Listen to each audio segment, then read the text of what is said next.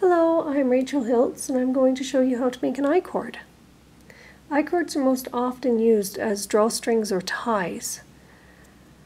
However, I've also been using them in my floppy limbed amigurumi patterns to make the arms and the legs.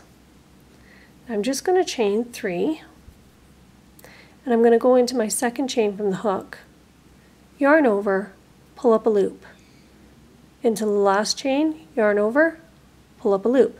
Now this is a step that you do at the wrist or the ankle of my amigurumi patterns to start into the leg. Now we slide two loops off the hook and kind of pinch them so they don't go anywhere. Yarn over, pull through, pick up your next loop, yarn over, pull through, pick up the last loop, yarn over, pull through. Again, we slide off our first two loops and basically do a chain. So we chain one, pick up the second loop, chain one, pick up the third loop, chain one. And it's as easy as that.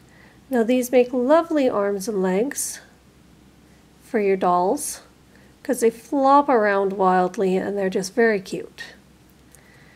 Now to finish an I-cord, we yarn over and simply pull through all three loops on the hook.